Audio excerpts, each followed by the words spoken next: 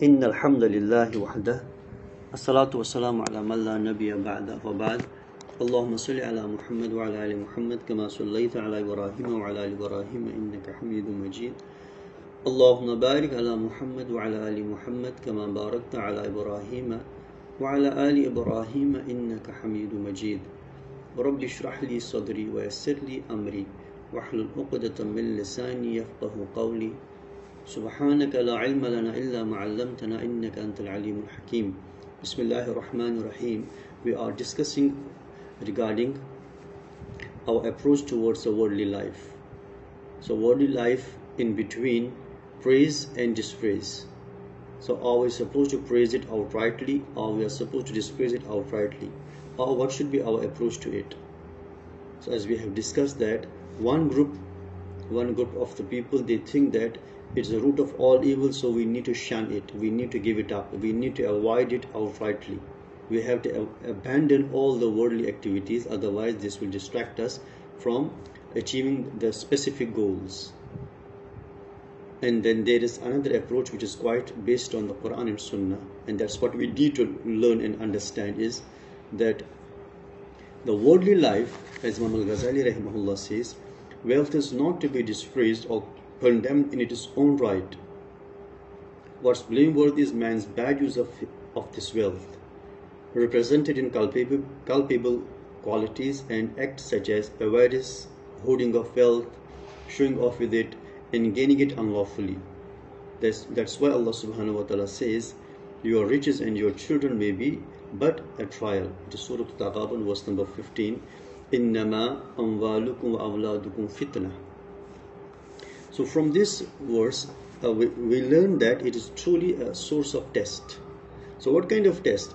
is a test to be understood that we have to leave it, we have to outrightly abandon it, or the test is that we are supposed to show our obedience to Allah subhanahu wa ta'ala while acquiring and accumulating the wealth. So Islam gives us a proper direction, a proper approach that this as far as the worldly wealth is concerned, we cannot say it is good or it is bad. What makes it good is a proper usage of it. What makes it bad is a improper usage of it. So it depends upon actually the wealth itself, be it the gold, the silver, or the cash, or any form of the wealth, any assets. Of its own, it's neither good nor bad. So what makes it good or bad is approach of the people, which also applies to the worldly these electronic gadgets. Mobile phone, is it good or bad? We cannot say an answer outrightly, it is good or it is bad. It depends upon the usage of a person. If a person uses properly, then it is good. If a person uses improperly, it is bad. So same applies to the wealth. As Allah subhanahu wa ta'ala has created it, as I said before, خَلَقَ لَكُمْ He created it for you. So either He created to, we are supposed to accumulate it and we are supposed to take benefit of it, out of it. But at the same time, the main objective behind the wealth is that it must be used in order to serve ourselves, serve our family, serve our fellow beings. So that this becomes a source of maghfirah for us, a source of getting the pleasure of Allah subhanahu wa ta'ala. That's what we are, we are, we have been created for. To achieve the rida of Allah, to achieve the pleasure of Allah subhanahu wa ta'ala. That Allah subhanahu wa ta'ala, our master, our creator is pleased with us. That's main objective in our life. Why Allah created us? So that we achieve His pleasure. Is a higher station that is maqamur rida. That Allah is pleased with us. When we leave this dunya when we leave this world we leave this in a state in a way that Allah subhanahu wa ta'ala is pleased with us يا أيتها النفس المطمئنة ارجعي إلى ربك راضية مرضية فادخلي في عبادي وادخلي جنتي so we, we achieve that level that Allah subhanahu wa ta'ala says to us, Oh the pleased, pleasant soul, now you enter among my slaves, among my servants, and you enter my Jannah. So our goal has been set, our objective has been defined, that why we are here. Many of the people of the world don't know about it, what they are here. Like the two, they are the animals, wallahi. Just eating and drinking, fulfilling all the desires of the nafs and nothing else. But surely, when they are not aware about their purpose of life, and after fulfilling all the commands of the nafs, they are fed up, they are desperate, and most of them they try to just put an end to their life. You see that one of the main cause of suicide is that a person is not aware about his position in this world, why he is here, why Allah created him. How can he please his, his master, his creator, the one who brought him into existence, the one who blessed him with many things surrounded, and his, his blessings are surrounding him. So Allah subhanahu wa ta'ala is one of the, I should say, the one of the best blessings upon a person is he is aware about his own position in this world. Allah subhanahu wa ta'ala has given us this wealth and we need to know that how we are supposed to spend this because firstly we are we are supposed to know how to earn this wealth and then how to spend it as prophet said sallallahu ta'ala that on the day of judgment that ما تزال لا تزال قدم عبدي يوم القيامة حتى يسأل عن خمس that the feet of son of Adam will not move from his place un, unless and until he, he is questioned he's being asked about five things وعن عمره فيما أفنى about his life how he spent his life how he used his life وعن شبابه فيما أبلاه about his youth how he used how he spent his youth وعماله about his wealth من أين اكتسبته how did you earn your wealth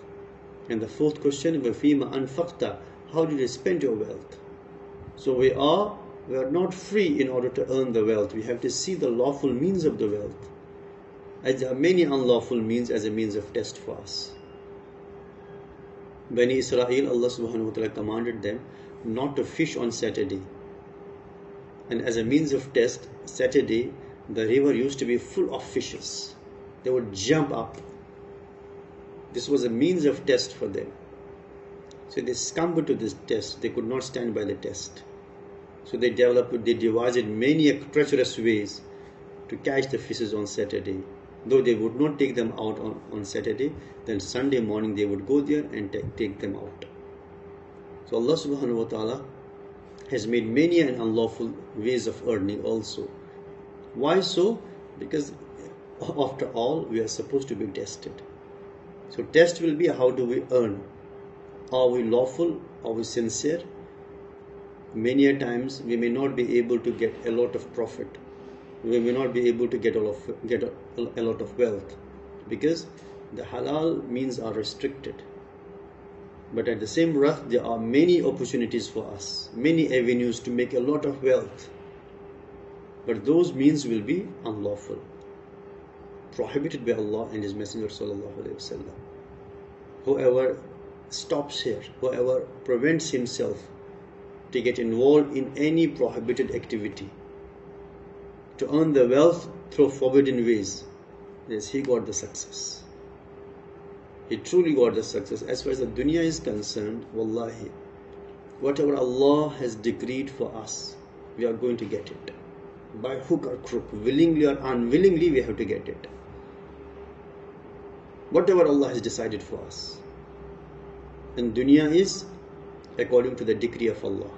And deen according to the efforts of a person. We need to understand this very importantly dunya, wealth of dunya, is according to the decree of Allah. So here, though we are supposed to make our efforts, but even more and more efforts will not make it, will not increase a single penny in what Allah has decreed already for us. So dunya or the wealth is according to the decree of Allah. And deen, it's not according to degree it is according to the efforts of a person more efforts we make for deen, more rewards we get from Allah. More higher stations we get. So dunya is fixed, we can say in a way. And deen, it is quite uh, expendable, depending upon the efforts of a person. A simple example if we have a water tank, say 1000 liter, if we just put one tap into it and then we open the tap, how much will come out? Just 1000. Whatever is inside that, that, that will come out. It is one single tap. But what if we put two taps or three taps to it? One tap here, one tap there, one tap there. Then we open all these three taps. How much will come out? Again, the same 1000. More we put the taps, it will not increase one single liter, half a liter, it will not increase. Because whatever is already there, it is going to give back that much. Whether we use one tap or many taps. Same is case with our, our life of dunya, our portion from dunya. It's already decided by Allah subhanahu wa ta'ala. Though, as I said before, we have to make efforts, but not to the level that we forget each and everything. We have to make the efforts within the limits. Not to be just crazy about it, that we forget about our akhirah, we forget our own purpose of life. We have to make efforts within the limits. Wallahi, if we put more and more efforts that we forget everything, we will not get anything. Man kana yuridu hartha dunya nu'tihi minha. Whoever wants the the life of this dunya, the wealth of this dunya, man kana yuridu hartha dunya, Allah says in the Quran. Man kana yuridu hartha dunya nu'tihi minha Whoever wishes the possessions of the world, نؤتيه منها. We shall give, give him some portion of it. وَمَا لَهُ فِي الْآخِرَةِ مِنْ خَلَاقٍ And there is no portion for him in the akhirah. وَمَنْ كَانَ يُرِيدُ حَرْثَ الْآخِرَةِ Whoever wants, whoever wishes the benefit of akhirah, نَجِدْ لَهُ فِي حَرْثِهِ We increase his benefit. We increase his crops. Harth actually means harf. Harf means crops. Hirs with sword. Hirs means avarice, means greed. Man kana yurid ad dunyā. Whoever wants the crops of the dunya, the life, the, the, the things of dunya, chattels of dunya, nu'tihi minha, a portion of it we give to him. But that portion is fixative. Our more and more efforts won't increase a bit on the other hand ومن كان يريد حرث الآخرة whoever wants the crops of akhirah nazid lahu fi harsihi. We increase, we keep on increasing according to according to his efforts. So what we learn, life of dunya is based on the portion of dunya, the chattels of dunya, the possessions of dunya, the wealth of dunya is based on the decree of Allah. And as far as the deen is concerned, thawab, the reward is concerned, is according to the efforts of a person. So Allah subhanahu wa ta'ala has created all these things. We need to understand this very much. Allah subhanahu wa ta'ala mentions about Qarun. We know Qarun, he was one of the richest men among the Bani Israel. Very much rich. Allah describes us whenever he used to come to the people in high grandeur way, in a sublime and superb way, with all his possessions expressed and defined he would come along with all his wealth and his worldly grandeur. Then the people of dunya, they would look at him, they would cry out, they would sigh, Ya laytana mithla ma utiya Qarun.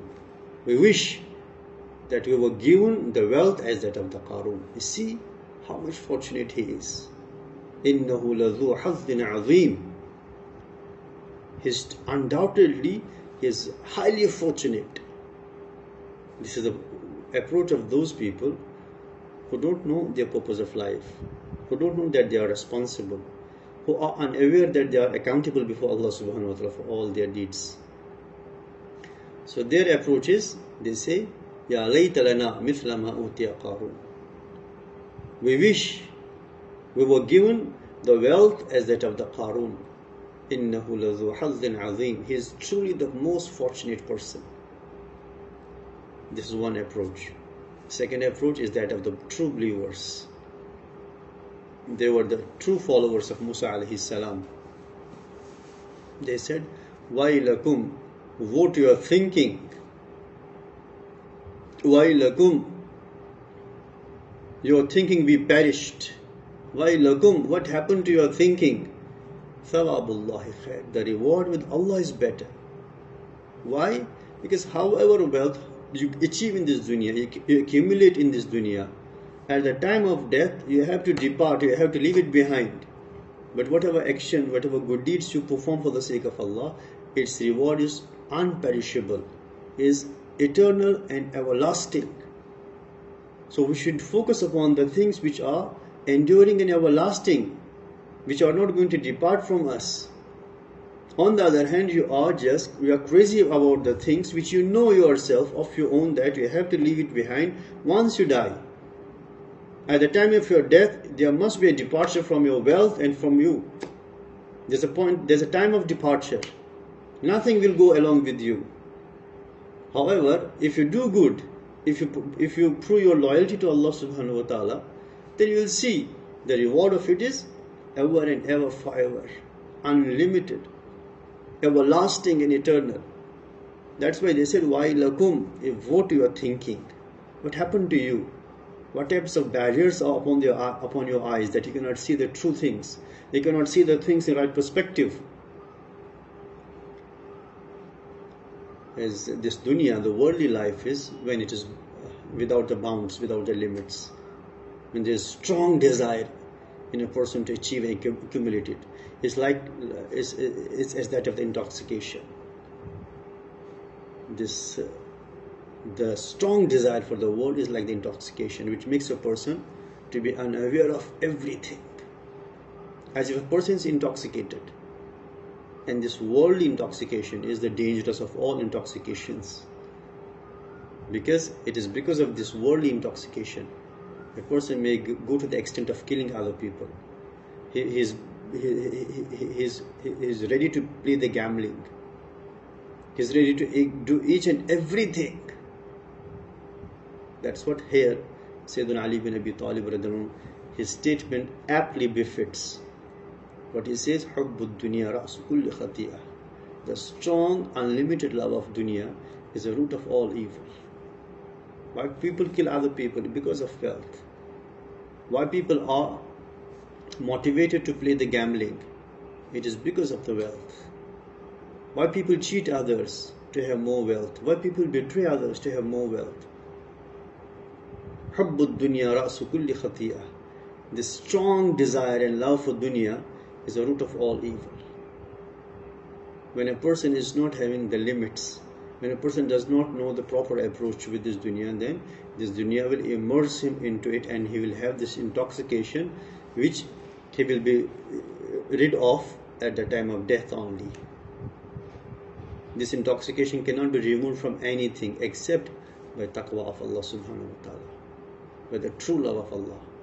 There can be only either of the two things true love of Allah in the heart or true love of dunya. Both cannot stay together. There are two opposite poles which cannot be joined together. There are two opposite poles. So,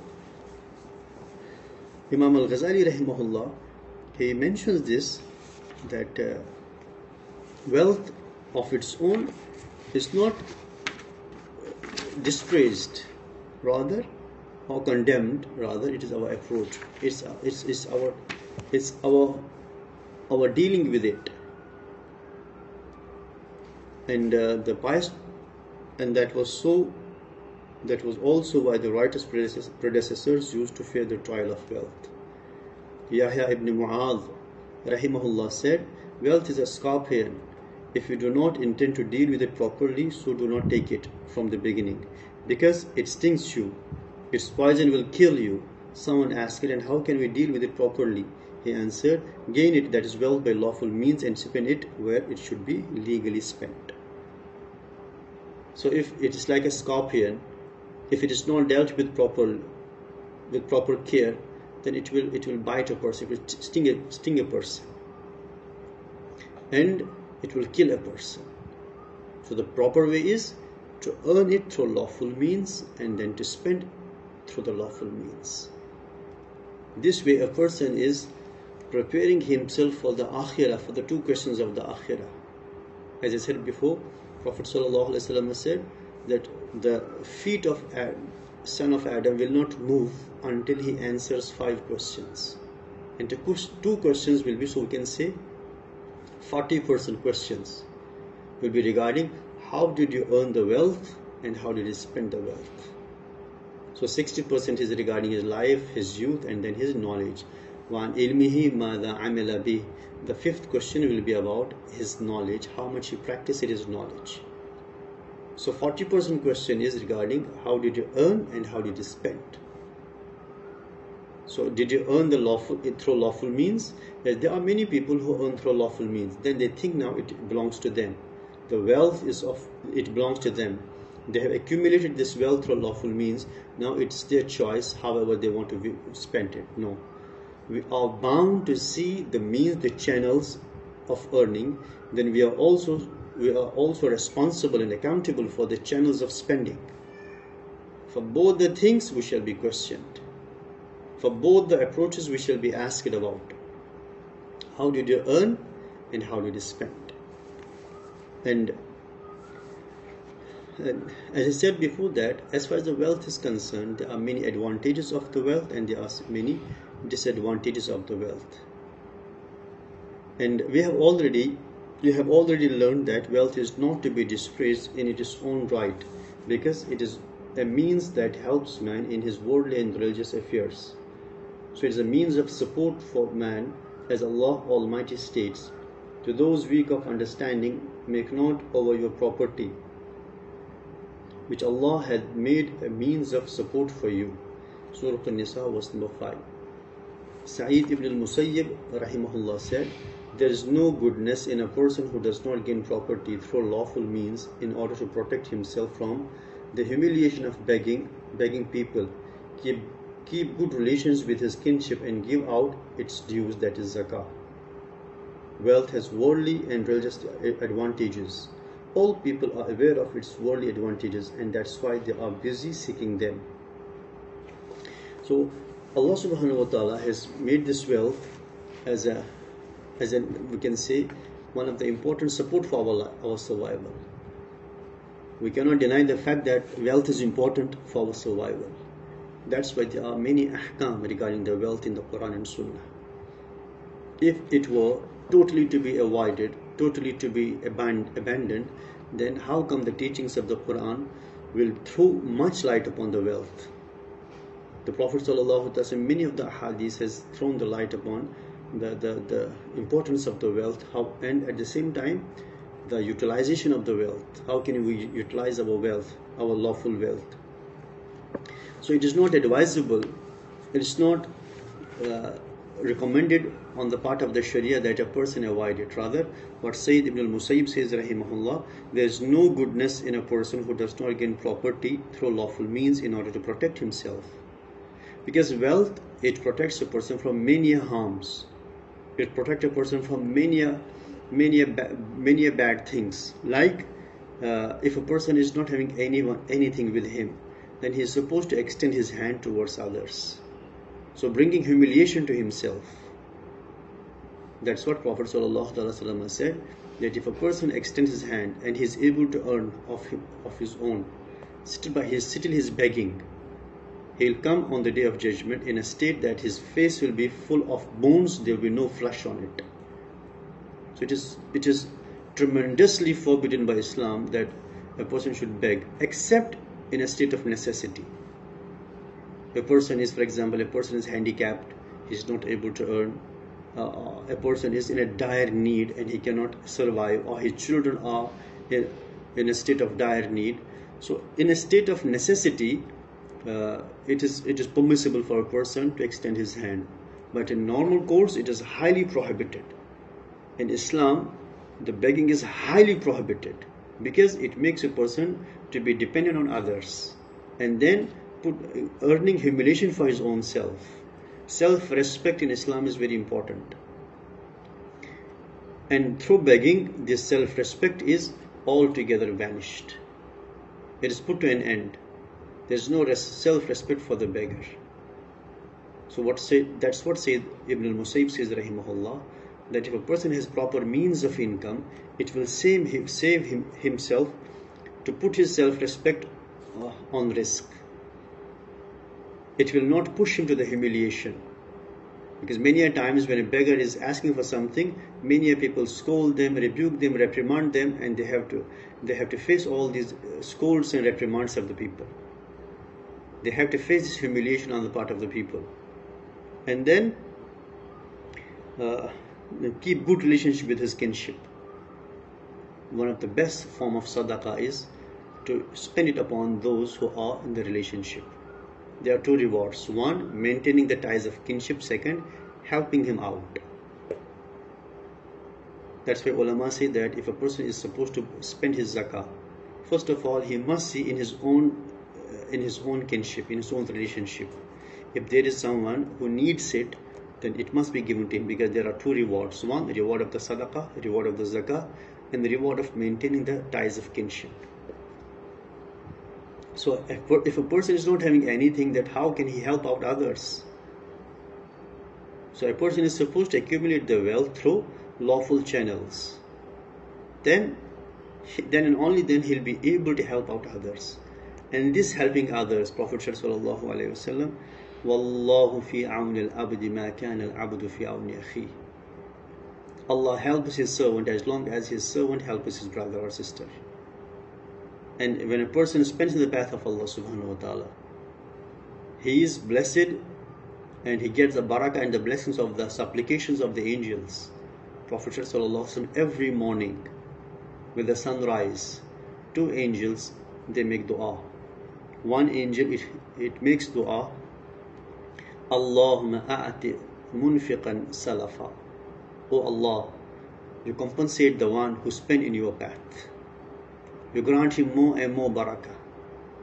Allahumma a'ti munfiqan khalafa. O Allah, the one who spent the wealth in your path. You give him abundantly. You compensate him of your own. And then another angel, he makes another dua. It's a bad supplication, bad dua. Allahumma a'ti mumsikan talafa.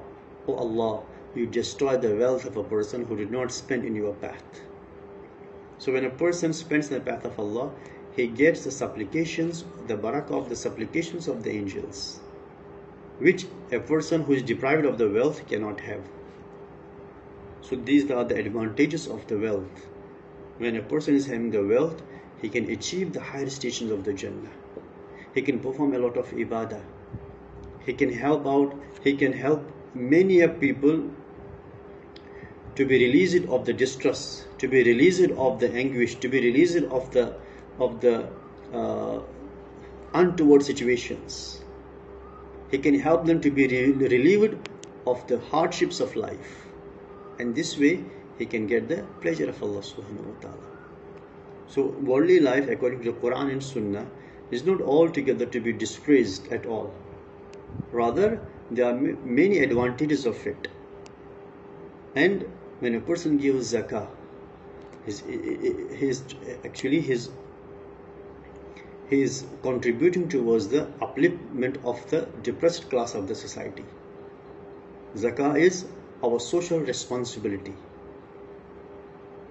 Being a responsible citizens of the Islamic society, uh, we have we owe certain responsibilities towards other fellow beings. If they are facing the hardships and Allah has given us the wealth, and we are instrument. We are a means to remove their hardships. What else we need in our life? Once we can we are able to just provide the food to, to, to the hungry stomach.